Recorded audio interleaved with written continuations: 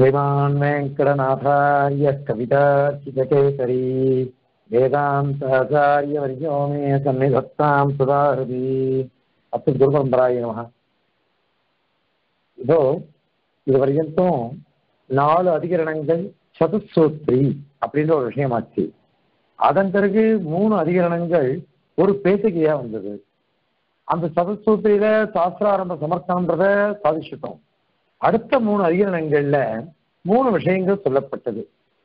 சாதாரணமாக ஒரு அச்சேதனம்ன்றது வராது. ஜெகத்காரணமாக சாதாரணமாக ஒரு சேதனமானது ஜெகத்காரணமாக இருக்க முடியாது. அப்புறம் உபசித புண்ணிய விசேஷங்கள். புண்ணியம் பண்ணின யாராவது ஒரு ஆத்மா ஜீவாத்மா அவன் இருக்கட்டுமே அப்படின்னா அவனும் இருக்க முடியாது. இப்படி மூணு வித்தியைகள் ஒன்றும் சத்வித்யை. இந்த சத்வித்யை தான் பிரதானமான வித்தியை அதனால அதை கொண்டு முதல் விசாரம் பண்ணிட்டார் அடுத்ததுக்கு ஆனந்தமய வித்தியை பெருமானுடைய சுரூபத்தை சொல்லக்கூடிய வித்தியை ஆனந்தமய வித்தியை என்னன்னா நீங்க சொன்ன பாருங்க. சத்தியம் ஞானம் அனந்தம் ஆனந்தம் அமலம் க்ஷேபதித்வம் இதெல்லாம் பெருமாளுடைய சுரூப நிரூபக தர்மங்கள். ஏற்கனவே சொல்றோம். பெருமாளுடைய சுரூபத்தை நிரூபகணம் பண்றதுக்குன்னே வந்த குணங்கள். அந்த குணங்கள் இல்லைன்னா பெருமாளுடைய சுரூபத்தை நிரூபணம் பண்ண முடியாது. அதனால ஆனந்தமய வித்தியை அதுலதான் அதெல்லாம் சொல்லப்பட்டிருக்கு. ஆகவே சத்தியானந்தம் பிரம்ம ஆனந்த பிரம்ம அதெல்லாம் அதை அங்க விசாரம் பண்ணி அது யாருன்னு சாதிச்சுக்கணும் மூணாவது வித்தியை அந்தராதித்ய வித்தியை. அந்த வித்தியில அந்த உஜ்வலிதம் ஜொலிக்கக்கூடிய ஒரு இரண்ய புருஷன் மகாபுருஷன் ஆதித்ய மண்டலத்திற்குள்ள இருக்கக்கூடிய மகாபுருஷன் அவன் யார்? அப்படின்னு கேள்வி கேட்டுண்டு அவனும் பரமபுருஷன் தான் அப்படின்னுட்டு மூணு அதிகரணத்தினாலேயே ஒரு சேதனனும் அச்சேதனனும் வர முடியாது. சேதனனும் வர முடியாது. நிறைய புண்ணியம் பண்ணின சேதனனும் வர முடியாது. இப்படின்னுட்டு சாஸ்திரம் முடிஞ்சு போச்சு. இதனாலேயே ஒரு சேதனம் அச்சேதனமே வராது. அதான் பிரகிருதியே வராதுன்னு சொல்லிட்டோம்னு வச்சுக்கோங்களேன். பிரகிருதின்றது என்னது? லோகத்தில் இருக்கக்கூடிய அச்சேதன வஸ்துக்களுக்கெல்லாம் ஃபர்ஸ்ட் அதான் முதல் ஸ்தானம் மூலம். அதுதான். அந்த ஒரு பிரகிருதி அச்சேதனத்து அச்சேதனம் பிரதம அச்சேதனம். அதுதான் பிரகிருதி பிரதானம் பேரு. அதுவே வராது அப்படின்னு சொல்லிட்டா அதனுடைய விகாரங்கள்லாம் வரலாமா வர முடியுமா? விகாரங்கள்னு என்ன அர்த்தம்? அதனுடைய காரியங்கள். பிரகிருதியிலிருந்து மகத்து உண்டாச்சு. மகத்திலிருந்து அகங்காரம் உண்டாச்சு. அகங்காரத்திலிருந்து தன்மாத்திரம் உண்டாகுது. ஏன்னா முதல்ல சப்த தன்மாத்திரம் உண்டாகும். தன்மாத்திரம்னா இதுக்கு இந்த மகத் தத்துவத்துக்கும் அகங்கார தத்துவத்துக்கும் ஆகாசத்துக்கும் நடுவில் இருக்கக்கூடிய ஒரு தத்துவம். தன்மாத்திரம்ன்ற. இந்த தன்மாத்திரத்துக்கு அர்த்தம் தத்துவம் சாகலாபத்துல சுவாமி சாதிக்கிறார் தேசிகன். கலல ததினையா கற்பித சத்த வித்திகி அப்படிங்கிறார். அதாவது நம்ம வந்து பால் ராத்திரி காய்ச்சிரும். பால் காய்ச்சி என்ன பண்றோம்? அதுக்கு அமுது குத்துறோம் நாம அதாவது துவைக்கிறோன்ற மாதிரி தயிர் ஆகிறதுக்கு துவைக்கிறோம். இப்போ கொஞ்சம் போதும் தயிரை துவைச்சிட்டோம். தயிரை துவைச்சிட்டா என்ன ஆகுது? இப்போ ராத்திரி பால் வந்துடுது நாளைக்கு கார்த்தால் நம்ம துவைச்சிட்டோம்னாக்கா இன்னைக்கு ராத்திரி துவைச்சிட்டாக்கா நாளைக்கு கார்த்தால் அது தயிரா மாறி விடுறது ஆனால் அது பன்னெண்டு மணிக்கு அந்த தயிர் எடுத்தீங்கன்னு வச்சுங்க எப்படி இருக்கும் அது? அது பாலும் இல்லை தயிரும் இல்லை. ஒரு மத்தியமமான நிலையில் இருக்கும் மத்தியம தசா. இது கலலம்னு பேர் அது. கலல கல்பித தத்துவவித்பிகி தத்துவவேத்தாக்கள்லாம் இப்படி சொல்றாலும் தன்மாத்திரம்னா என்னது? அப்படின்னாக்கா ஒரு தயிருக்கும் பாலுக்கும் நடுவுல நடுவு சமயம் நடுவுல இருக்கக்கூடிய ஒரு தசை நிலை. அதுதான் கலலம்னு பேரு. அந்த மாதிரி ஒரு ஆகாசம் தத்துவம். அந்த சப்ததன் மாத்திரம் ஆகாசத்துக்கு முன்னாடி இருக்குது. சப்ததன் மாத்திரத்துக்கு முன்னாடி அகங்கார தத்துவம் இருக்கு. இந்த அகங்கார தத்துவத்துக்கும் ஆகாச தத்துவத்துக்கும் நடுவுல இருக்கக்கூடிய ஒரு தசை இருக்கு பாருங்க. அதுக்கு பேரு தன்மாத்திரம்னு பேரு. ஆகாசத்தை நேரம் பார்க்கிறோம் நாம. இதோ ஆகாசம் தெரிகிறதே சொல்றோம். வாயுவை நம்ம ஸ்பர்சிக்கிறோம். தேஜத்தை நேரம் பார்க்கிறோம். பிரதிவியை பார்க்கிறோம். ஜலத்தை பார்க்கிறோம். ஆனால் தன்மாத்திரங்களை பார்க்க முடியறது இல்லை அந்த மத்தியம தசைன்றது எப்படி இருக்கும் நமக்கும் தெரியாது. அதான் அதனுடைய ருச்சியே வேறுபட்டு இருக்கலாம் அது பால் மாதிரி இருக்காது தயிர் மாதிரி இருக்காது ஒரு சித்தம் சொல்ல முடியாது அமினோசனியம் அப்படி இருக்கும். அந்த மாதிரியாக தன்மாத்திரம்ன்றது இது. இப்படி பிரகிருதி மகத்து அகங்காரம் தன் சப்த தன்மாத்திரம் அது வந்து ஆகாசம். ஆராதனை பண்றவங்களுக்கு தெரிஞ்சிருக்கோம். நம்ம வந்து அஹ், பூத சுத்தி பண்ணுவோம். பூத சுத்தி என்ன பண்றோம்? ஓம் லாம் நம பராய சர்வாத்மனே நமஹ பிரதிவீம் கந்ததன்மாத்திரே விலாபயாமி. கந்ததன்மாத்திரம் அப்சு விலாபயாமி. ஓம் வாம் நிவர்த்தியாத்மனே நமஹ இப்படி சொல்லிட்டு போறோம். அதாவது பிரதி அதாவது இது பிரளய இது பிரளயத்தினுடைய கிரமம். முதல்ல பிருத்திவி. அந்த பிருத்திவி என்ன பண்ணும்? கந்த தன்மாத்திரம். அதுக்கு காரணமா இருக்கிறது அதுல போய் இது லயிச்சிடும். அந்த கந்த தன்மாத்திரம் ஜலத்துல லயித்தோம் ஜலம் ரசதன் மாத்திரத்தில் லயிக்கும். ரசதன் மாத்திரம் தேஜஸ்ல தேஜஸ் இப்படி தத்துவ பிரக்கிரியை இப்படி போறது பிரளயத்துல. அதே சிருஷ்டினாக்கா பெருமாள் கிட்டேருந்து தமகா சஜீவம் தமகா உத்பாதியாமி. தமசிலிருந்து பிரகிருதி பிரகிருதியிலிருந்து மகத்து மகத்திலிருந்து அகங்காரம் இப்படி வருது. இப்படி இந்த காரிய வர்க்கங்கள்லாம் இருக்கும் இல்லையோ பிரகிருதி தான் அந்த பரமாத்மாவுக்கு அடுத்த ஸ்தானத்துல பிரகிருதி இருக்குது அச்சேதனத்துக்கு. இப்போ அந்த பிரகிருதி தானே பிரதானமா இருக்கிறதுனால பிரதானம் பிரதானம் சொல்லுவோம் அச்சேதனங்களுக்கெல்லாம் பிரதானமா இருக்குது. அதுக்கே காரணத்துவம் இல்லைன்னாக்கா மீதி அச்சேதனங்கள் எதுவுமே அதனுடைய காரியங்கள் தானே. மகத்து அகங்காரம் அவன் தன்மாத்திரங்கள் அந்த மாதிரி இந்த இவைகள்லாம் அதனுடைய காரியங்கள். அந்த பிரதான சேதனம் பிரகிருதி. அதுக்கே காரணத்துவம் வராதுன்னாக்கா மீதி எதுக்குமே வராது. சரி அதே மாதிரி ஜீவன். இந்த ஜீவன்ல சாதாரண ஜீவனும் காரணமாக ஆக மாட்டான். விசேஷமான ஜீவனும் காரணமாக ஆக மாட்டான். விசேஷமான ஜீவன் யாரு? அப்படின்னாக்கா ஒரு புண்ணியங்கள்லாம் பண்ணினவன். அவனும் காரணமாக ஆக மாட்டான் அப்படி ஆக மாட்டான்னு சொல்லிட்டோம்னாக்கா இப்ப என்ன எடுத்தோம் ஜீவனும் ஜெகத்காரணம் இல்லை. அச்சேதனமும் ஜெகத்காரணமும் இல்லை. அதனால இந்த மூணு அதிகரணத்தினாலேயே சாஸ்திரம்ன்றது முடிஞ்சு போயிடுது. அதனாலேயே சாஸ்திரம் முடிஞ்சு போயிடுச்சு இப்ப எதுக்கு திருப்பி சாஸ்திரம் ஆரம்பிக்கணும்? அப்படின்னாக்கா அதுக்கு சொல்ற இது வந்து நிறைய அதுக்கு சங்கதி. அதுக்கு சங்கதி சொல்றார். எப்படி சங்கதின்னாக்கா அஹ், நாம வந்து இந்த லோகம் வருதே லோகத்துல ஒவ்வொருத்தருக்கும் ஒவ்வொரு விதமான ருச்சி இருக்கு. லோகோகி பின்ன ருச்சின்னு சொல்றோம். அதாவது நாம வந்து ஞானம் இருக்கு இல்லையா? அந்த ஞானத்தை பார்த்துக்கோங்க. ஞானம்ன்றது ஒவ்வொருத்தருக்கும் ஒவ்வொரு விதமா இருக்கு. ஒவ்வொரு விதமான என்ன அர்த்தம்? அப்படின்னாக்கா என்னுடைய ஞானம் எவ்வளவு தூரம் போகுமோ அதை வச்சு நான் உங்களுக்கு உபன்யாசம் சொல்லிடுவேன். என்னை காட்டிலும் பெரிய பண்டிதா நிறைய பேர் இருக்கா? அவள்லாம் இன்னும் அற்புதமா சொல்லுவா. இப்படி ஏன்னா அவ அவளுடைய ஞானம் தான் அவளுக்கு என்னென்ன கேள்விகள் தோணுமோ என்ன என்ன சந்தேகம் வருமோ அதெல்லாம் வச்சுருந்தா எல்லாரும் பிரவர்த்திக்கிறார் அந்த மாதிரி உபரிடத் வாக்கியங்கள் பலவிதமான வாக்கியங்கள் இருக்கு. அந்த பலவிதமான வாக்கியங்கள் என்ன பண்றது தெரியுமா? அப்படின்னாக்கா ஒன்று ஆகாசம்தான் ஜெயக்காரன் சொல்லுவோம். இன்னொன்று ஆகாசம்லாம் கிடையாது. முக்கிய பிராணம் தான் கிடையவே கிடையாது. இந்திரன் ஒருத்தன் அவன் தான் இல்லை தேஜஸ் தான் இந்த மாதிரி மாத்தி மாத்தி மாத்தி மாத்தி வரலாம் எல்லாம் கேள்வி கேட்டுருப்பான் அப்போ இந்த மாதிரி வாக்கியங்கள்லாம் இருக்கு வேதாந்த வாக்கியங்கள். இந்த வேதாந்த வாக்கியங்கள்ல எந்த எந்த வாக்கியங்கள்ல சந்தேகம் வருதோ அந்த வாக்கியங்களை எடுத்து கேள்வி கேட்பான். ஏன்? ஆகாசம் தான் ஜெகத்தாரன் நீங்க சொல்லப்பட்டிருக்கு. அது வித்த நீ வந்து பிரம்மன் தான் ஜெகத்தாரன் எப்படி சொல்லுவ? அப்படின்னு கேட்டாக்கா கிடையாது. அந்த இடத்துல ஆகாச சப்தம் கூட பரமாத்மாவை தான் சொல்றது. ஆகாச சப்தத்தினால பெருமானுக்கு ஒரு திருக்கல்யாணம் சொல்லப்படுறது. அது மாதிரி பிராணம்னாக்க அந்த பிராண சப்தத்தினால சொல்லப்படுறதும் பரமாத்மா தான் அதுவும் பெருமாளுடைய ஒரு திருப்புணத்தை சொல்றது திருக்கல்யாண குணத்தை சொல்றது.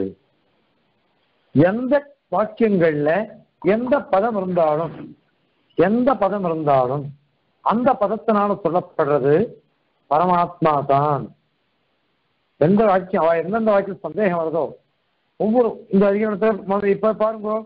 முதல்ல சத்து. ரெண்டாவதுல ஆனந்தமயன். மூணாவதுல இரண்மிய புருஷன்.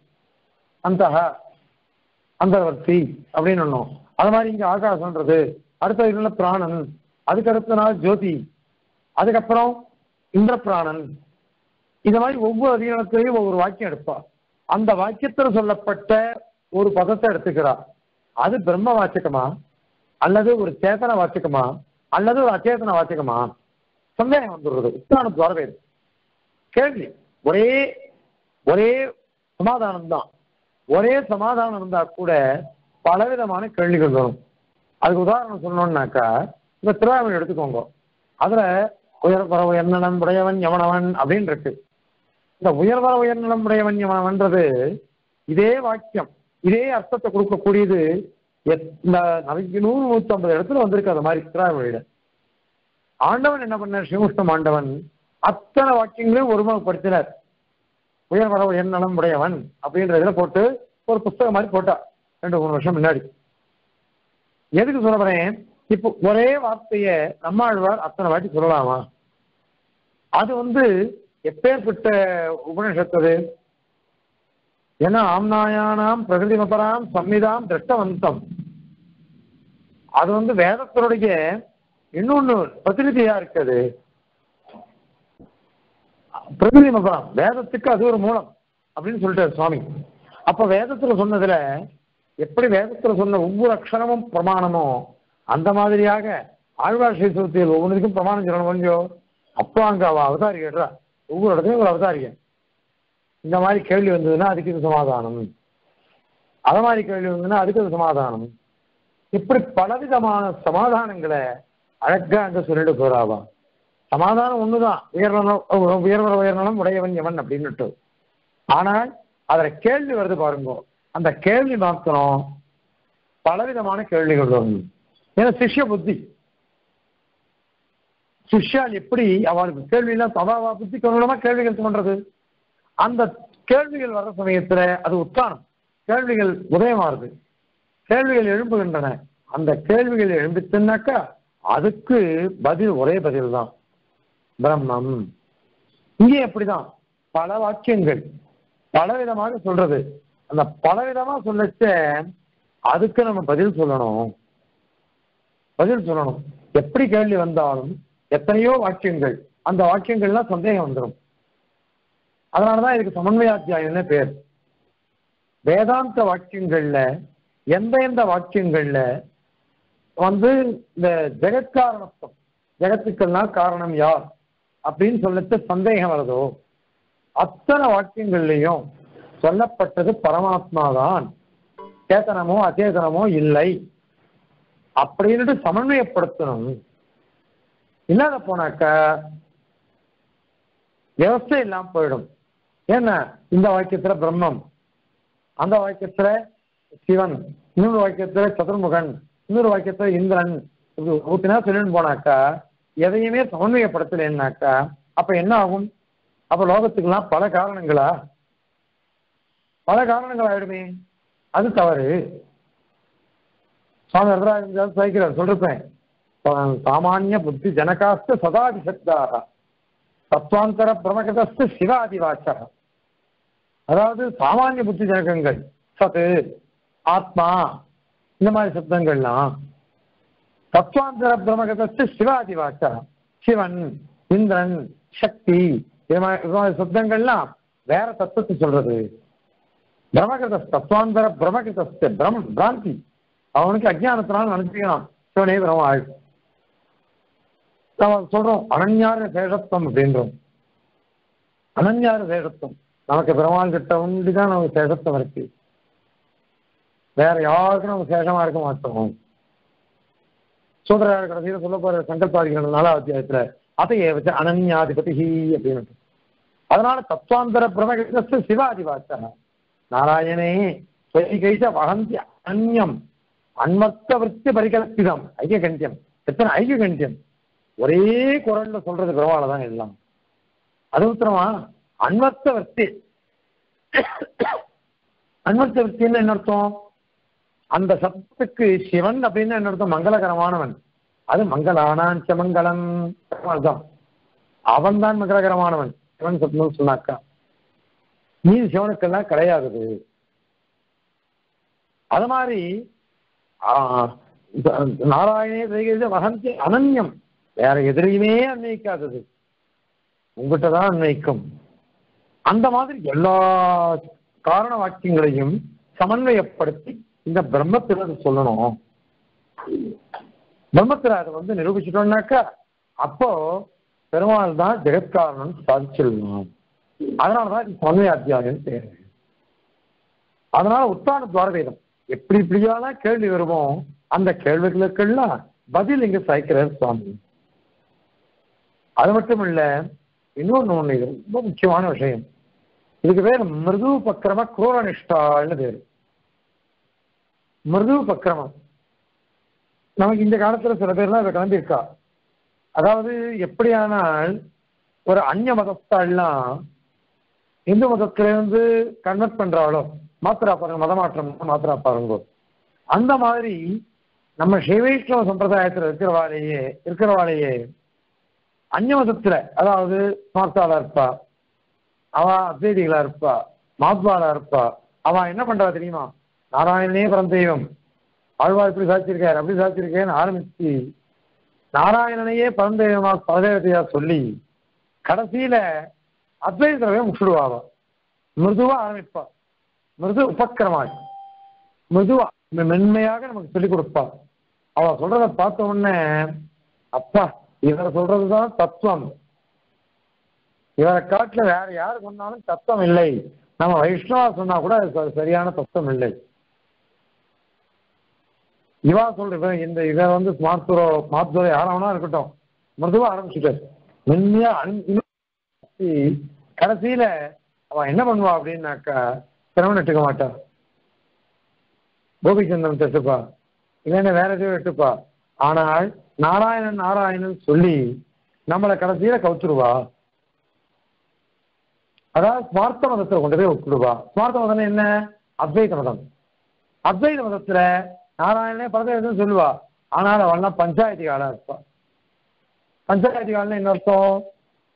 பெருமாளை சாலக்கிராம ஆராதனம் ருத்ரனுக்கு ஆராதனம் சக்திக்கு ஆராதனம் விக்னேஷன் சூரியன். இன்னும் அஞ்சு பேருக்கு ஆராதனம் பண்றாவா. பஞ்சாயத்தனம் பஞ்சாயத்தனம் சொல்லுவாங்க இந்த மாதிரி பண்ணச்ச அவளுக்கு என்னன்னு எல்லாம் ஒண்ணுதான். விஷ்ணு ருத்ரன் அதே மாதிரி எல்லாம். நம்ம சித்தாந்தம் அப்படி ஒத்துக்கலையே. இந்த மாதிரி விசித்திரமா சொல்லி விட்டுடுவா. விநாயக பூஜை பண்ணணும்னு சொல்லுவா. இதெல்லாம் மிருது உபக்கிரமம். மென்மையா ஆரம்பிக்கிறது. மிருது உபக்கிரம குரூரனிஷ்டாள் குரூரனிஷ்டாள் இங்க ம- மலையில ஒண்ணு நடந்தது. சோர்ணம் நடக்கிறது. அப்ப என்ன நடத்துனாக்கா பண்றவர் வைஷ்ணவர். பண்ணி வைக்கிறவர் ஒரு ஸ்மார்த்தம் பண்ணி அவன் என்ன பண்ணிட்டான்னாக்கா விக்னேஷ பூஜை பண்ணிட்டான் விக்னேஸ்வரன் விக்னேஸ்வரன் விநாயகர் கணபதி பூஜை. அதை பண்ணிட்டா எனக்கு மனசே கேட்கல. நாங்கள் ஏழு எட்டு பேர் உட்காந்து சீவைஷ்ணவ உட்காந்துட்டு இருக்கோம். ரொம்ப சங்கடமா போயிடுச்சு. என்னத்துக்கு அங்க போய் உட்காந்துருக்கோம்னு தோணுச்சு எதுக்கு போய் எங்கே போய் உட்காரணும்? அப்படின்னு அது ஏன் அப்படின்னாக்கா இவ நான் நாராயண நாராயணன் சொல்லிட்டு அப்படி சொன்னா சரியா இருக்குமா? இதான் சொல்றேன். மிருது உபக்கிரம கூரனிஷ்டாள் மிருதுவா உபக்கிரமம் ஆரம்பிக்க வேண்டியது மென்மையாக. அதுக்கப்புறம் தன் தத்துவத்தை கொண்டு போய் முடிக்க வேண்டியது. கூரமாக கூரமா கூரமா இருக்குது. கூரம்னா என்ன அர்த்தம்? அவ தத்துவத்தை போய் முடிச்சு நம்ம அப்படியே மதமாற்றம் பண்ணிடுவாங்க இந்த மாதிரி தத்துவத்தை சொன்னாக்கா அது ரொம்ப ரொம்ப ரொம்ப பெரிய கல்பனா இது பெரிய புத்தியை கற்று வச்சுடுவோம் அந்த மாதிரி அவ அத மாதிரி இருக்காளே. அவளெல்லாம் இப்போ கண்டனம் பண்ணணும். என்ன? உங்க பெருமாளும் இருக்கட்டும். எங்க சிவனும் இருக்கட்டும். இப்படி சொல்லி கடைசி உங்க பெருமாளே இல்லை அப்படின்னு முடிக்கணும். அல்லது எல்லாமே அப்படியே ரத்தம் தான் அப்படின்னு சொல்லணும். இந்த மாதிரி மாத்தி மாத்தி சொல்லிட்டு போனாக்கா அது எங்க போய் முடியும்? இதான் மிருது பக்கிரம சூரனிஷ்டாள் அவர் எழுதியின் திருவள்ளம் இதுதான். அதனால நீங்க எல்லாரும் எத்தனையோ சைவேஷ்ணவாள் கிட்ட நிறைய காலக்ஷேபம் உபன்யாசம் எல்லாம் கேட்டு இருக்கீங்க உங்ககிட்ட நான் சொல்ல வேண்டியதில்லை. நீங்களே புரிஞ்சுப்பீங்க. நம்ம சைவேஷ்ணவாள் அவ தப்பா சொன்னா கூட அது தெரிஞ்சுக்கோங்க. அது தப்பா இருக்காது. உங்களுக்கு தப்புன்னு சொன்னா கூட தப்பு இல்லை. ஏன்னா தேசியம் சாய்ச்சதெல்லாம் தப்பே இருக்காது. அதுதான் நாங்க சொல்லுவோம். அதனால அவ சொல்றதை ஏற்றுக்கோங்க இதராவுடைய வகுப்பு இருக்கிறதெல்லாம் கேட்டுக்க வேண்டாம். அது கேட்டுண்டா என்ன ஆயிடுதுன்னாக்கா விபரீதமான புத்தி வந்துடும் நமக்கு கலந்து போயிடும் எல்லாம். இப்படி கலந்து போயிடுச்சுன்னு வச்சுக்கோங்களேன். எல்லாம் கலந்து போயிடுச்சுனாக்கா எது சரின்னு தெரிய மாட்டேன்றது. எது சரின்னு தெரிய மாட்டேன்றது. ஒரு கொஞ்ச காலத்துக்கு முன்னாடி நான் வந்து இது உதாரணம் சொல்றதுக்கு அவமானமா இருக்கு. டிவியில பார்த்துட்டு இருக்கேன். இந்த மேல்மருவத்தூர்னு ஒன்று இருக்குது. ஆதிக்கலா சத்தியா மாரியம்மன் கோயில் ஏதோ கோயில். அந்த கோயில்ல ஹோமம் பண்றா. அதுல போனது போட்டு திருமணட்டு இருக்கிறவர் அவர் ஹோமம் பண்றாரு அந்த பணத்தை கட்டிட்டு இது வந்து அவ விசுவாசம் அப்படின்றது வேற. நம்ம பெருமாளை சேவிச்சாலே எல்லாம் போருமே. அதை விட்டுட்டு என்னத்துக்கு அங்க போகணும்? அவன் ரட்சிக்கிறதுக்கோசரம் காத்துட்டு இருக்கானே. அப்படிப்பட்டவனை விட்டுட்டு அங்கெல்லாம் போறாளே. இவெல்லாம் சுத்திர தேவதைகளாச்சு. இந்த அவ பெருமானே சொல்றேன் பாகவதத்துல. மா நீ மாயை யோக மாயை நீ போ. கம்சனை ஏமாத்து. நீ இப்படி பண்ணினாக்கா உன்னை எல்லாரும் சொல்லுவா. எனக்கு தங்கேன்னு சொல்லுவா வைஷ்ணவின்னு சொல்லுவா துர்கேன்னு சொல்லுவா பத்ரகாளின்னு சொல்லுவா உனக்கு பலியெல்லாம் சமர்ப்பிப்பா உன்னை கூட பூஜை பண்ணுவா நீ போய் சேரு. அப்படின்னு சொல்ற பெருமாள் அப்படின்னா என்ன அர்த்தம்? பெருமாளை கீழே இவாள்லாம் இருக்கிறதுனால அர்த்தம். அப்படி இருக்குச்சு அதை விட்டுட்டு அவன் மேல போறான்னு எவ்வளவு தவறான விஷயம். மிருது பக்கிரம குரோட குரோர நிஷ்டாலா இருப்பாங்க அப்படிப்பட்டவாக்கிட்ட நம்ம போகக்கூடாது. அதை தெரிஞ்சுக்க கூடாது. அத மாதிரி சொல்றவாள் பள்ளியுடனும் பள்ளிவிடணும் அவகிட்ட நம்ம விஷயமே தெரிஞ்சுக்க வேண்டாம். நம்ம பெரியவா சொல்லாதியா? அவெல்லாம் சொல்ல போறா? அவளும் சுவாமி தேசிகன்னு சொல்லுவா. எம்பெருமானான்னு சொல்லுவா. அது மாதிரி பிரபந்தத்தில் ஆழ்வார் ஸ்ரீசுத்திகள்லாம் உதாரணம் காமிப்பா. ஸ்ரீமத் ராமாயணத்தை சொல்லுவா. பாரதத்தை சொல்லுவா. கீதையை சொல்லுவா. எல்லாத்தையும் சொல்லிட்டு கடைசியில் அவ மதத்துல பேர் சேர்த்து விட்டுடுவா. நமக்கு அது தேவையா? அதனால இதை சொல்றாரு சுவாமி அந்த மாதிரி இருக்கிறவாளெல்லாம் கண்டிச்சு இப்படி கண்டிச்சிடுற சரி அதை கண்டி அதை வந்து இப்பயே கண்டிச்சு விடலாம். சிவன் நாராயணன் தான் தேவதை. ஏன்னா ஏற்கனவே இந்த அந்தராஜ்ய வித்தியில கப்பியாசம் சொன்னோம். கப்பியாசம் புண்டரீகம் சொன்னதுனால அவனுடைய திருக்கண்கள்லாம் அழகான தாமர புஷ்பங்களா இருக்குது. அதனால புண்டரீகாட்சலிங்கம் இருக்கு. இந்த புண்டரீகாட்சலிங்கம் சொல்லிட்டோம்னாக்கா அது என்னது பெருமாளுக்கு ஒண்டி தான் போகும். வைகுண்ட புண்டரீகாட்சகன் அவருக்கு சொல்றான். நிகண்டு சொல்றது டிக்ஷனரி அகராதி அதனால புண்டரீகாட்சன் சாட்சாத் பரமாத்மா நாராயணன். அதுவே சொல்லியாச்சே. அதனால இனிமேல் இதெல்லாம் எதுவும் சொல்லணும்? அப்படின்னாக்கா அதுக்கும் பதில் சொல்றார். அந்த மாதிரி யாரு மிருதுபக்கிரம சூர நிஷ்டாளா இருக்காளோ அவ அத்தனை பேரையும் கண்டனம் பண்ணிட்டு இந்த அத்தியாயத்துல ஒவ்வொரு அதிகரணத்தினாலையும் ஒவ்வொரு திருக்கல்யாண குணத்தை ஸ்தாபிக்கிறார். ஒவ்வொரு திருக்கல்யாண குணம். எந்த ஒரு அதிகரணம் வந்தாலும் அந்த அதிகரணத்துல ஒரு திருக்கல்யாண குணம் சொல்லப்பட போறது. இப்ப சொல்ல போற ஒவ்வொரு பாதம் முடிய இதான் தேசிகன் ஒரு பாதம் முடியும். இந்த பாதத்துல முடியத்த முதல் நாள் வேற. அது வந்து வெறும் சாஸ்திராரம்பம். அதுக்கு என்ன வேணும்னு சொல்லிட்டார். இப்போ அடுத்தது ஏழு அதிகரணங்கள். இந்த முதல் பாதத்திலேயே ஐநூறு அதிகரணம் மொத்தம். நாலு அதிகரணங்கள் சாஸ்திராரம்ப சமர்த்தனம்னு எடுத்தோம். அப்புறம் ஏழு அதிகரணங்கள். இந்த ஏழு அதிகரணம் முடித்த கடைசி ஸ்லோகத்தினால இந்த ஏழு அதிகரணங்கள்ல சொல்லப்பட்ட கல்யாண குணங்கள் எது? எம்பெருமானுடைய திருக்கல்யாண குணம் எவை? அப்படிங்கிறத இங்க அழகா சொல்லப்படுற சாங் ஒவ்வொரு பாதத்திலையும் அப்படி சொல்லுவார். ஒவ்வொரு பாதத்திலையும் ஒவ்வொரு கல்யாண குணத்தை சொல்லி அழகா ஸ்தாபித்தருடையாகவும் சுவாமி. அதனால இங்க சூத்திர சூத்திரகாரர் திருவுள்ளமோ எம்பெருமானார் திருவுள்ளமோ ஆச்சாரியார் திருவள்ள என்ன அப்படின்னாக்கா மூணு அதிகரணத்தினாலேயே ஈஷத் அதிகரணம் ஆனந்தமயாதிகரணம் அந்தர் அதிகரணம் இந்த மூணு அதிகரணத்தினாலேயே சாஸ்திரம் முடிஞ்சாலும் இந்த ஆகாசாதிகரணத்திலிருந்து என்ன சொல்லப்படுறது அப்படின்னு சொன்னாக்கா ஒவ்வொரு அதிகரணத்தினாலையும் ஒவ்வொரு திருக்கல்யாண குணம் சொல்லப்படுறது. சரி அப்படி சொன்னதுனால என்ன லாபம்? அப்படின்னாக்கா நிர்விசேஷம் பிரம்மம். நிர்குணம் பிரம்மம். ஒரு குணம் கூட கிடையாது பிரம்மாவுக்கு பரமாத்மாவுக்கு. அப்படியே யார் சொல்றாளோ அவளுடைய அத்வைத மதம். அந்த மதமானது இங்க வந்து கண்டிக்கப்படுறதா இருக்கு.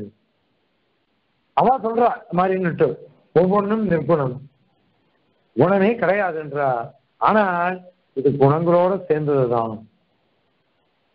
மூணாம் அத்தியாயத்துல மூணாம் பார்த்து ஒரு ஸ்லோகம் வரப்போறது சமஸ்யா என்ன சொல்ற சாஸ்திரேஸ்மின் ஆ சமாப்தேகே கோபடம் அபிஹிதம் அபிஹிதம் நிர்குணோபாஸ்து சாத்தியம்.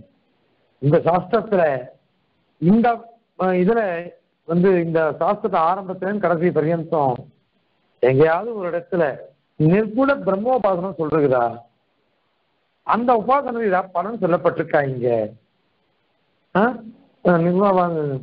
நோச்சாஸ்திரஞ்ச பிரகத்தியம் இல்லாத ஒன்றத்தை கல்பிக்க கூடாது நீங்க.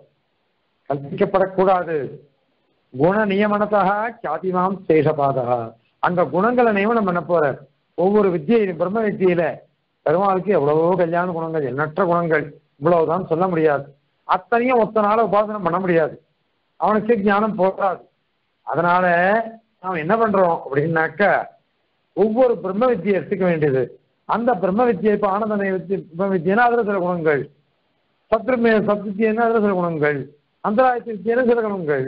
இந்த மாதிரி ஒவ்வொரு வித்தியைகளுக்கும் சில நிர்திஷ்டமான சில குணங்கள் இருக்கும். கல்யாண குணங்கள். அந்த கல்யாண குணங்களை ஏற்கனவே சுரூப நிருபக தர்மம் சொன்னோம் பாருங்க. சத்தியத்துவம் ஞானத்துவம் அனந்தத்துவம் ஆனந்தத்துவம் அமலத்துவம் ஷியப்பதித்துவம்னுட்டு இவைகளை சொல்லி அந்த கல்யாண குணங்கள் இருக்கு. அந்தந்த வித்தியில அதை சேர்த்து சொல்லணும்.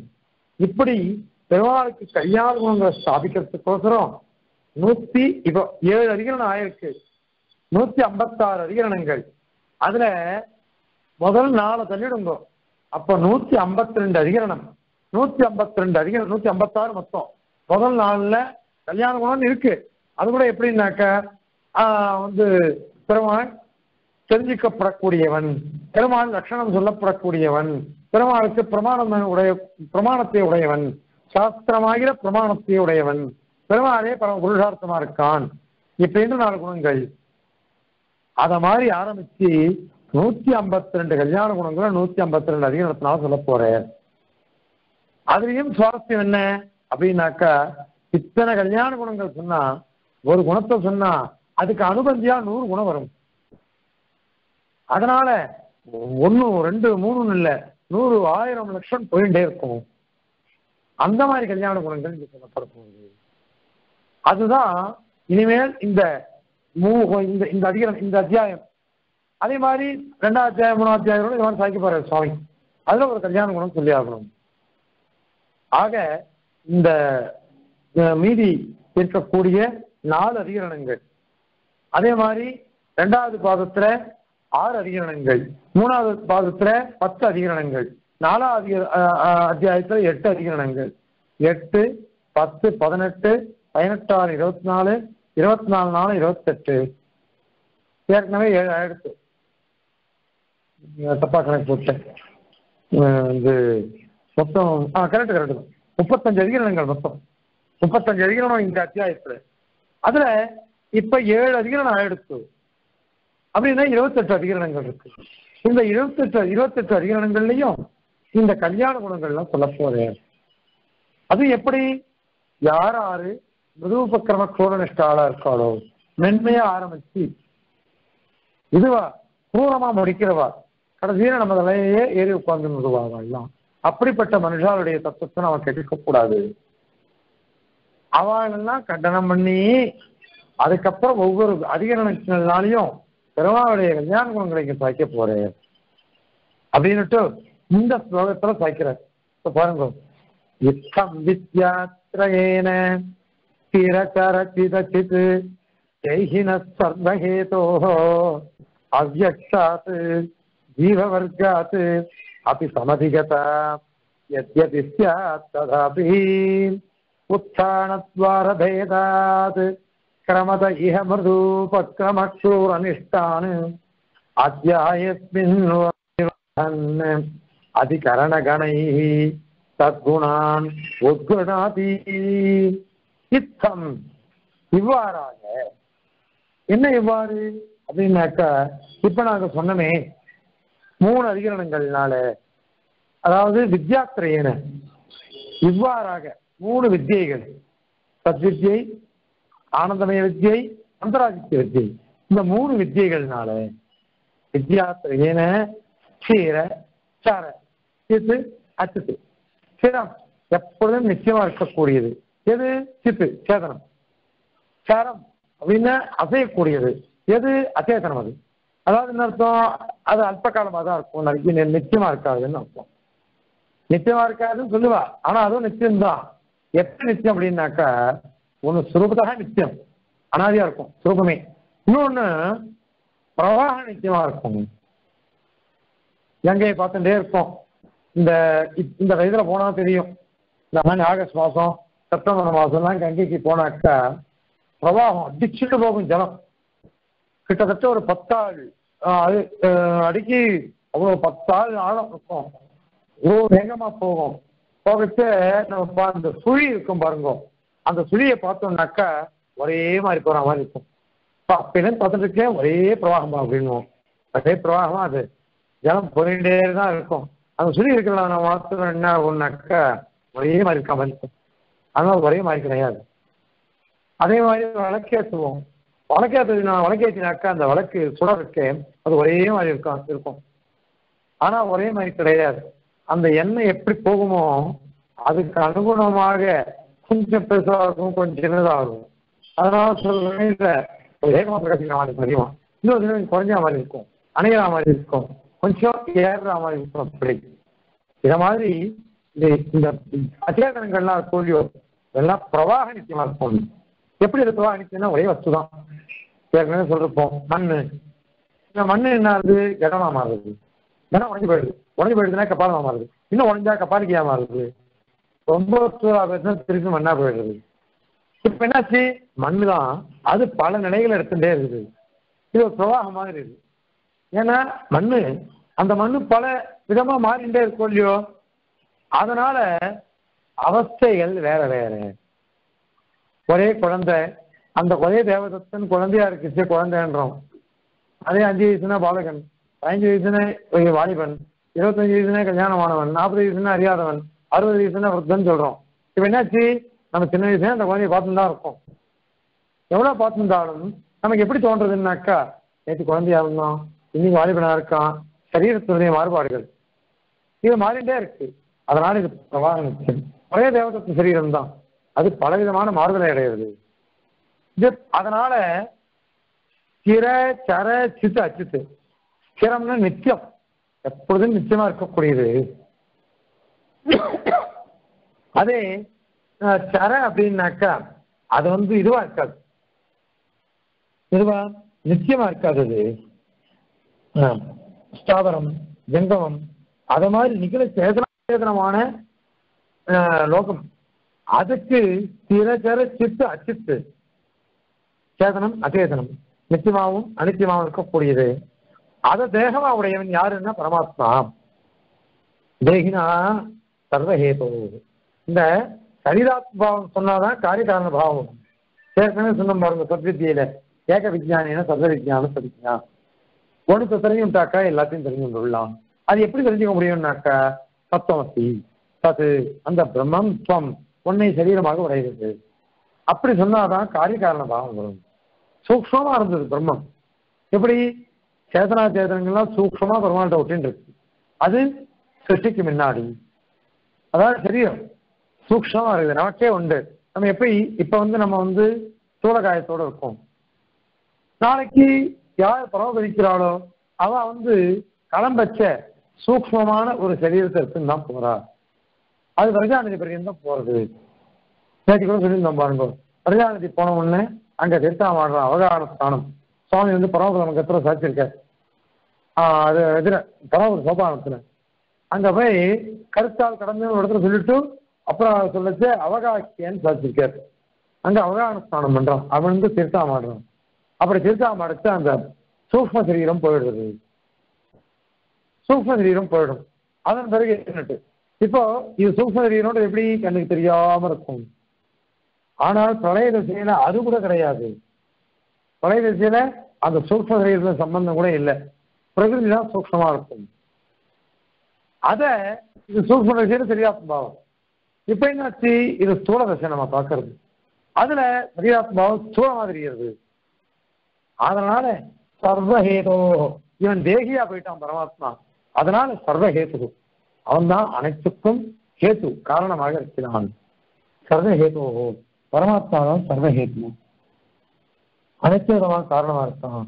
அந்த சர்வஹேதுவான அவன் அவனுக்கு அவ்வக்தாது ஜீவவர்க்காதபி அந்த அந்த சர்வ சர்வ காரணமா இருக்கக்கூடிய பரமாத்மாவுக்கு அவ்வக்தாத்தி அவ்வக்தம்னா என்ன அர்த்தம்? பிரகிருதிக்கு அவ்வக்தம் பேரு. நம்ம பார்க்கறது இல்லையே. பிரகிருதி எப்படி இருக்கும் யாருக்கும் தெரியாது. அவன் சாயங்காலம் சொன்னான் பாருங்க ஈஷத்துல லோகம் எல்லாம் குணத்திரயத்தோட சேர்ந்தா இருக்குது. சத்திரகிருஷ்ணத்தினால அது மாதிரி அது காரியம் காரியம் அப்படி இருக்குன்னாக்கா காரணம் சத்திரகிருஷ்ணத்தோட தான் இருக்கணும். அது எத்தமா இல்லை. படித்தின வழியில வரல. அது அவ்யக்தமா இருக்கு. ஆனால் அது இருந்தாலும் நாம வந்து இந்த அனுமானத்தை கொண்டு தெரிஞ்சுக்கலாம் அப்படின்னு அவன் சொன்னான் சாங்கியன் அதனால அதுக்கு அவ்யக்தம்னு பேரு அது. பிரகிருதி மூணு குணங்களோட கூடினது. அந்த அவ்வக்தத்தை காட்டிடும் அதே மாதிரி ஜீவ வர்க்காதபி. என்ன பிரகிருதியை காட்டிடும் அதனால சேதனத்துக்கெல்லாம் இது. ஆனால் ஜீவ வர்க்காதபின்னு தவிர்த்து வந்து முதல்ல ஆனந்தமயன் ஜீவன் சொன்னான். அதுக்கப்புறம் உபதித புண்ணிய விசேஷனா இருக்கக்கூடிய அந்த ஜீவன் யாருன்னாக்கா ஆதித்ய மண்டலாந்தரத்துக்கு இருக்கலாம் இந்திரனா இருக்கலாம் ப- சதுர்முக பிரம்மாவா இருக்கலாம் அக்னியா இருக்கலாம் எப்படி வேணாலும் இருக்கலாம். இப்படி எத்தனையோ ஜீவன்கள்லாம் இருக்கு. அந்த ஜீவ வர்க்கத்துல ஏதாவது வந்துள்ளானு கேள்வி கேட்டான். அந்த ஜீவ வர்க்கத்தினால இருந்தோ ஜீவ வர்க்கத்திலிருந்தும் வேறுபாடு. அவ்யக்த அவ்யக்தமான பிரதானம் பிரகிருதி அதிலிருந்தும் வேறுபட்டவன். வேறுபட்டவன் மாத்திரம் இல்லை அதிகமாக அவ்யக்தாது ஜீவ வர்க்காதபி அந்த ஜீவ வர்க்கத்தை காட்டிலும் சமதிகதா அதிகதா சமதிகதா அதிகதான்னா என்ன அர்த்தம்? அதிகமா இருக்கும் உத்கர்ஷமா. எப்படி சம் அப்படின்னு ஒண்ணு இருக்கு. கல்யாண குணங்கள். சொரூபம் என்ன? குணங்கள் என்ன? விபவம் என்ன? அதாவது ஐஸ்வர்யம். அத மாதிரி அவனுடைய பிரவர்த்திகள் வியாபாரங்கள். இவர்கள் அனைத்து விதத்தினாலையும் நம்ம எல்லாம் காட்டிலும் அவன் அதிகமா இருக்கான். அது என்ன? எண்ணெய் எல்லையற்றது. சுவாபாவிக அனவதிக அதி அசங்கே கல்யாண குணகணா அப்படிங்கிறார். அடிக்கடி சாய்க்கிறார் பாஷ்யக்காரர். அனவதிகம் எல்லையற்றது. அசங்கேயம் எண்ணிக்கையற்றது. எல்லை இல்லை எண்ணிக்கை இல்லை அப்படிப்பட்ட அவனுடைய கல்யாண குணங்கள் இருக்கு. அவன் சுரூபம் இருக்கு. அவன் விபவம் இருக்கு. அவன் பிரவൃத்தி இருக்கு. அதனால சமதிகதா எத்யபி சொல்லிட்டோம். இந்த மூணு அதிகரணத்தினாலையும் மூணு வித்தியைகள்னாலே நம்ம சொல்லிட்டோம். இந்த சர்வேஸ்வரன் ஜீவனை காட்டிலும் உகந்தவன். அவ்யக்தமான அச்சேதனம் இருக்கே அதை காட்டிலும் இவன் உயர்ந்தவன் அப்படின்னு நாம சொல்லிட்டோம். அத மாதிரி இருந்தாலும் எத்யபி சியாத் எப்படியாயினும் இருந்தாலும் கூட ததாபி ஆனாலும் கூட உத்தான துவார பேதா. உத்தான துவார பேதா. உத்தானம். ஆக்ஷேபம் இருக்கே. பலவிதமான ஆக்ஷேபங்கள் வருது. அதனுடைய கேள்விகள்லாம் ரொம்ப விசித்திரமான கேள்வி கேட்பா. ஏற்கனவே சொல்லிருக்கோம் பாருங்க. அஸ்பஷ்டதரம் அஸ்பஷ்டம். ஸ்பஷ்டம் சாயானுசாரி. மொத்தம் அஸ்பஷ்டதரமான லிங்கங்கள். ஜீவன் முதலாமான லிங்கங்கள். அது முதல் பாதம் இரண்டாவது பாகத்துல அஸ்பஷ்டமான ஜீவாதி லிங்கங்கள் அடையாளங்கள். மூணாவது பாகத்துல ஸ்பஷ்டமான ஜீவாதி லிங்கங்கள் அடையாளங்கள். கடைசி பாகத்துல சாயானுசாரி. அந்த வாக்கியங்களை வாசித்தோம்னாக்கா ஸ்பஷ்டமா பிரதானத்தை தான் சொல்லும். அல்லது சேதனத்தை தான் சொல்லும். பரமாத்மா சொல்லாதுன்ற மாதிரி தோணும்.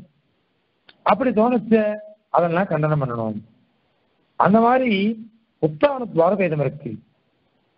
ஏன்னா பல பலவிதமான கேள்விகள் கேள்விகள் ஆக்ஷேபங்கள்லாம் வரும். அந்த மாதிரி வந்த மிருது பக்ரம நிஷ்டான் மிருது பக்ரமம் மிருதுவா. மென்மையாக ஆரம்பிக்க வேண்டியது. அதன் பிறகு ஒரேடியா அடிச்சிட வேண்டியது நம்மள. குரூரமா அடிச்சுடுவாவா அது மாதிரி அது மாதிரி பேசுறது ரொம்ப ரொம்ப தப்பு அது. அது கூடாது. அந்த மாதிரி இருக்கிறவாட தான் முதல்ல அடிக்கணும். அது ஏன் அப்படின்னாக்கா வெளி மதத்தார்னு வச்சுக்கோங்களேன். வெளி மதத்தார். வெளி மதத்தார்னு என்ன அர்த்தம்? ஒரு பௌத்தன் ஒரு சார்வாக்கன் ஒரு ஜெயினன் இவெல்லாம் ஈஸ்வரனையும் ஒத்துக்கல வேதத்தையும் ஒத்துக்கல. ஆனா இந்த கேள்வி கேட்கிறவன்லாம் இருக்கா பாருங்க சாங்கியன் மீமாம்சகன் இந்த மாதிரிலாம் இருக்காளே. இவன்லாம் என்ன பண்றா? வேதத்தை ஒத்துண்டு இருக்கா ஈஸ்வரன் ஒத்துக்க மாட்டான் வேதத்தை ஒத்துண்டுட்டு அதுக்கு அபார்த்தங்கள் தவறான அர்த்தங்களை சொல்றா. இப்படி தவறான அர்த்தங்களை சொன்னாக்கா அந்த மாதிரி மனுஷால தான் முதல்ல போகணும். என்ன? பிரதிகூல சத்ருவை அனாயாசமா ஜெயிச்சுடலாம்.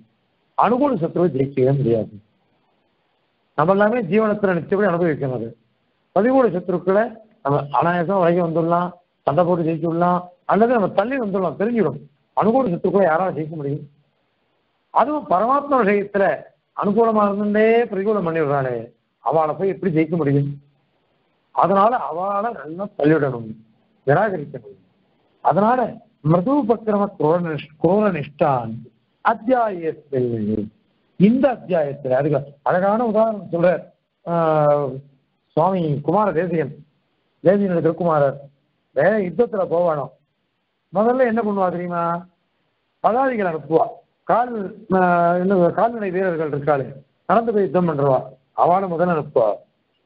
அதுக்கப்புறம் என்ன ஆகும்னாக்கா அவ தோத்து போயிட்டான்னா அஸ்வம் அடுத்தது போகும். குதிரை வீரர்கள். அதன் பிறகு யானை வேலை இருந்து போய் சண்டை போடுவான். வாழும் தோதுனா கடைசியில தான் ரதிகள் ரதத்துல ஏறி யுத்தம் பண்ண வருவா இப்படி இவன் வருவாது முன்னாடி இருக்கிறவெல்லாம் துர்பலமா போயிட்டு ஜெயிச்சிடாவெல்லாம் இந்த மாதிரி லோகத்துல உண்டு அது அப்ப என்ன ஆகும்னாக்கா அந்த மாதிரி வரத்து தத்துவ ஞானமானது ஸ்பஷ்டமா நிக்காது. ம். ஒவ்வொரு அதிகாரங்கள்லயும் இதுதான் இது. இவாள்லாம் இதை மாதிரி ஏன்னா நிர்வேதவாதிகள்லாம் என்ன பண்ணுவான்னாக்கா ஏதாவது இதை மாதிரி ஆரம்பிப்பா. அத்வைதிகள்லாம் பரமாத்மா பத்தி சொல்றேன்னு ஆரம்பிச்சுட்டு கடைசியில ஒரேடியா அதை தள்ளிடுவா. அந்த மாதிரி தள்ளிட்டாருனாக்கா அது ரொம்ப நம்மளுடைய இதுவா போயிடும் இப்படி ஒவ்வொரு அதிகரணத்திலையும் என் இவாளெல்லாம் அடிக்கணும் முதல்ல.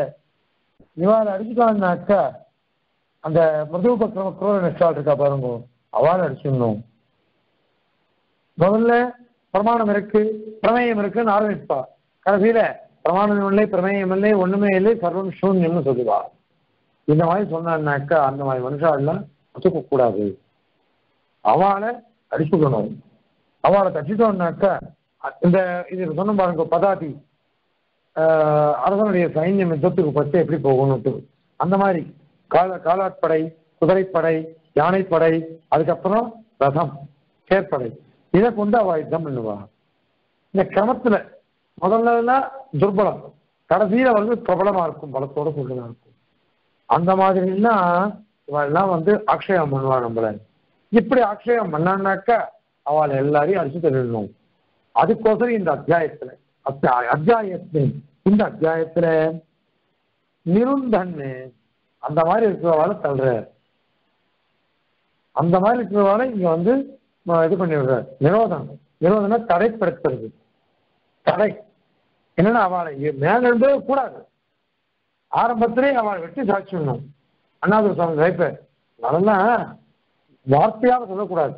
இந்த மண்டபையிலே போட்டு அடிக்கணும் அப்படின்னு அப்படி ஆரம்பிச்சிட்டு ஏன் என்ன இந்த மாதிரி விபரீதம் எல்லாம் அவன் சொல்லுவான். அந்த மாதிரி மனுஷால நீங்களாம் சேர்க்காதீங்கோ அப்படிங்குவா நம்ம சம்பிரதாயத்துல வந்து ஒரு விபூதி தரிசனம் இருந்தான்னாக்கா அவன் பக்கமே நம்ம போகக்கூடாது. நாவல் பார்க்கும் பெரிய சுவாமி ஐயா சுவாமியுடைய ஆச்சாரியர் காஞ்சிபுரத்தில் இருந்திருந்த திருமால் கோயில் சுவாமின்னு அந்த சுவாமி வந்து திருவிசரநல்லூர்ல ஒரு ஸ்ரீவைஷ்ணவ ஸ்மார்த்தர் இருந்தார். அதாவது ஊர்தம் பண்ற ஸ்மார்த்தர். அவர் விஷ்ணுவை தவிர்த்து வேற யாரும் தெரிவிக்க மாட்டார். அவர் விபூதி எடுக்க மாட்டார். அவர் புத்தகமே எழுதினார். விபூதி தாரண வித்வம்சனம் அப்படின்னு சங்கராச்சாரியரே பாஞ்சராத்திரத்துக்கு பிராமான்யத்துல அம்சே பிராமான்யம் அம்சே அப்பிராமான்யம் விட்டார். சில விஷயங்கள பிராமான்யம் இருக்கு சில விஷயங்கள் அப்பிராமான்யம் இருக்கு. ஆனா இந்த மகான் என்ன பண்ணாருனாக்கா பர்வாத்மனா பிராமான்யம் பாஞ்சராத்திரத்துக்கு அப்பிராமான்யமே சொல்லக்கூடாதுன்னு எழுதிட்டார் அந்த மகான் கிட்ட நாவல்பாகம் பெரிய சுவாமி மீமாம்ச இவர் என்ன பண்ணுவாருனாக்கா உஞ்சவர்த்தி பண்ணுவார். நெச்சபடி உஞ்சவர்த்தி உஞ்சவர்த்தி பண்ணச்ச அங்க இருந்தவா நிறைய ஸ்மார்த்தா தான் அந்த ஊர்ல திருவச்சனூர்ல அவன் எல்லாம் என்ன பண்ணுவான்னாக்கா திரைய பண்றவன் போதிட்டு இருப்பான் அவன் வந்து அரிசி சேர்க்க வந்தான்னாக்கா சுவாமி வேணாம்னு சொல்லிட்டு போடுவார் ஊர்த்தோ பண்றதாரிகள் யாரா கொட்டதை வாங்கிட்டு வருவார். இல்லையா? எதோ என்ன இருக்குதோ அதை சாப்பிட்டு திருப்பி சாப்பிட்டு கொடுத்துருவார் அந்த ஊர்த கொண்டு தான் யாராவது சேர்த்துருவா அந்த அரிசியை கொண்டு வந்து பிரசாதம் பண்ணி தானே சர்வீஸ் பண்ணிக்க வேண்டியது பெருமாள் ஆராதனை பண்ண வேண்டியது அபிஷேகம் பண்ணி அபிஷேகிக்க வேண்டியது. இப்படி இருந்தார். அப்போ அந்த சாஸ்திரிகள் கிட்ட போய் பத்திரிகை பெரியவா அவ கிட்ட போய் இதர ஸ்மார்த்தான்லாம் சண்டை போட்டார் நீர் அவருக்கு பாடம் சொல்லக்கூடாது. நீர் பாடம் சொல்லக்கூடாது. ஏன் சொல்லக்கூடாது? அப்படின்னாக்கா இவன் வந்து நாங்கெல்லாம் அரிசி போட்டா வாங்கிக்க மாட்டேன்ற எங்களை வந்து அலட்சியப்படுத்துற அப்படிப்பட்டவாள் நீர் சேர்க்கலாமா? பாடம் சொல்லலாமா? அது தப்பு அப்படின்னு சொல்லு. அப்ப அவர் சொன்னேனா அவரை பார்த்து பெருமைப்படுங்கோ. அவர் தன் மதத்துல எப்படி நிஷ்ட நிஷ்டையோட இருக்க? எவ்வளவு வைராக்கியமா இருக்கு அந்த மாதிரி நீங்களும் இருங்கோ. அவர் வந்து என்ன சொன்னார்? விபூதி தரிச்சுட்டு போட்டா நான் வாங்கிக்க மாட்டேன்னு நீங்க சொல்லுங்க. கிழமை நாங்கள் போட மாட்டேன்னு சொல்லுங்க. நீங்க அது மாதிரி இருந்து இருந்து வரீங்களே? அதை விட்டுட்டு எதுக்கு இது மாதிரி நீங்க அவர்கிட்ட சொந்த போடுறீங்கோ நீங்க சொல்றது தவறு. அவர் சித்தாந்தத்துல ஒரு இதுவா இருக்க உறுதியா இருக்க அப்படிப்பட்ட மகான். அவரை பார்த்து நீங்க எல்லாம் பெருமைப்படணும். நம்ம ஸ்மார்த்தால் இருக்கிற ஊரு அந்த ஊர்ல தன்னுடைய ஆச்சாரத்தோட அவர் இருக்க அனுஷ்டானத்தோட மற்றபடி எங்கேயும் போக மாட்டேன்றார். அப்படிப்பட்ட உத்தமர் அந்த ஆச்சாரத்தை எல்லாம் சாய்க்கணும் அதனால இதுதான் நம்மளுடைய ஆச்சாரம். அந்த மாதிரி மனுஷால பார்க்கவே கூடாது. பார்க்கவே கூடாது. ஏன்னா அந்த ஊர்து குன்றம் இல்லாம பெரியஸ் குன்றம் வளர்ந்துருச்சுனாக்கா அவள் தான் தேவதாந்திர வழிபாடு பண்றா தேவதாந்திர வழிபாடு பண்ணினான்னாக்கா அவள் போய் எப்படி சேவிக்கிறது? எப்படி நம்ம அவ தொட்டு வாங்கிக்கிறது? ஏன் ஒரு சாஸ்திரிகள்ட்ட ஞாபகம் சாஸ்திரேன் அந்த சாஸ்திரிகள்கிட்ட வந்து காணிம்பாங்க கோவிந்தாச்சார் கேட்டாராம். சாஸ்திரிகள் கேட்டாராம் கோவிந்தாச்சார் சுவாமிகிட்ட வந்து என்ன? நாங்களும் இதுதான் பெருமாளை சேவிக்கிறோம். நாங்களும் அத்தியனம் பண்றோமே. நாங்கெல்லாம் ஆச்சாரமாக தான் இருக்கோம். அவாத்திலையும் குமிட்டி எடுத்து பித்தளை பாத்திரம் அதெல்லாம் பெரிய எல்லாம் பண்ணுவா. ஏன் நாங்கெல்லாம் சுற்றி சாப்பிட மாட்டேன்றீங்களோன்ட்டு. ஒண்ணுமில்ல. அதை பெரிய போன்ற இருக்கீங்களே குறுக்கு வாட்டில் விபூதிய. அதுதான் தடுக்கிறது எங்களை. தேவதாந்திர ஸ்பெஷம் வந்துருச்சோன்னா நாங்கள் சாப்பிட்ற வழக்கம் இல்லை. அப்படின்னு இவர் சொன்னாராம் பதில். அதனால இதுதான் பதில். அதனால இப்படிப்பட்டவாளெல்லாம் நிருந்தன்னு. அவள்லாம் மேல நம்பவே கூடாது. அவளுடைய மதம் நம்ம ஒன்னு அங்கீகரிச்சோம்னாக்கா பத்து அங்கீகரிச்சு அங்கீகரிப்படி பண்ணிடுவாவா கடைசியில் அவன் மதத்திலேயே நம்மளை மாத்திடுவோம் அந்த மாதிரி நம்மளை மதமாற்றம் பண்ணிடுவா. அத மாதிரி மனுஷத்தை தேரக்கூடாது அத்தியாயத்தின்னு நிருந்தன்னு. அதை அடைச்சி அதை வந்து தடுத்து அந்த சித்தாந்த அவ சித்தாந்தத்தை உடச்சி எறியணும். அது கூடவே கூடாது நிராகரணம் பண்ணணும். வேற என்னதான் பண்ணணும்? அப்படின்னு அதிகரண கணங்கள். எவ்வளவு அதிகரணங்கள் இருக்கு? அந்த அதிகரண கணங்கள்னால தத்குணான் அந்த தத்துன பரமாத்மா. பின்னாடி சர்வஹேதுவா இருக்கான் அவன். சர்வஹேதுவான பரமாத்மாவுடைய குணங்கள் திருக்கல்யாண குணங்கள். அவைகளை உத்கிரணாதி. வெளியில கொண்டு வர. பகவானுடைய கல்யாண குணங்களை அந்தந்த அதிகரணத்தில் சொல்லப்பட்ட கல்யாண குணங்கள். அவையெல்லாம் உத்கிரணாதி. வெளிக்கொணர்ந்து காமிக்கிற சூத்திரக்காரன் ஏன்னா எந்த அத்தியாயத்துல எந்த அதிகரணத்துல எந்த கல்யாண குணம் சொல்லப்பட்டது நமக்கு தெரியாது.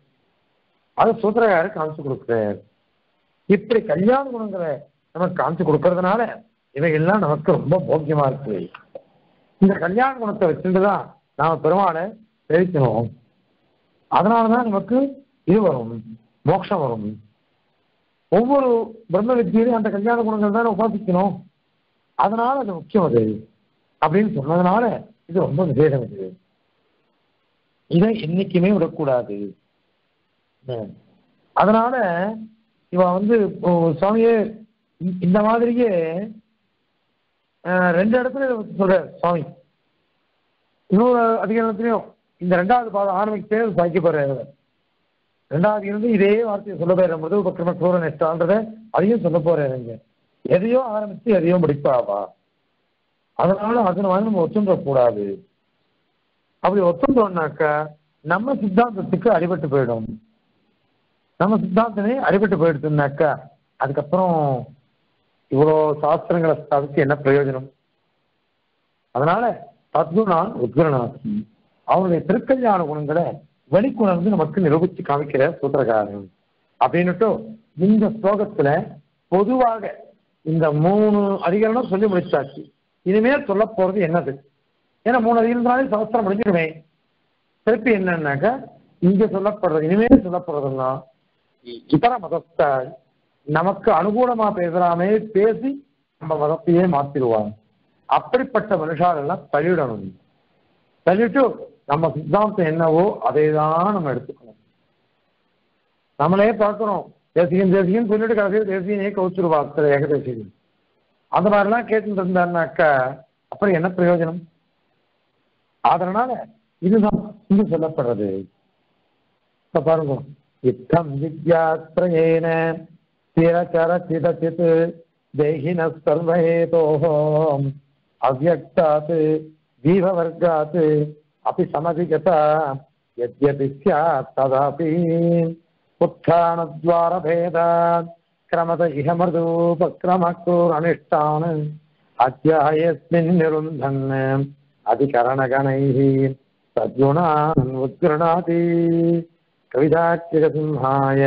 कल्याणगुणशालिने श्रीमते वेङ्कटेशाय वेदान्तगुरवे नमः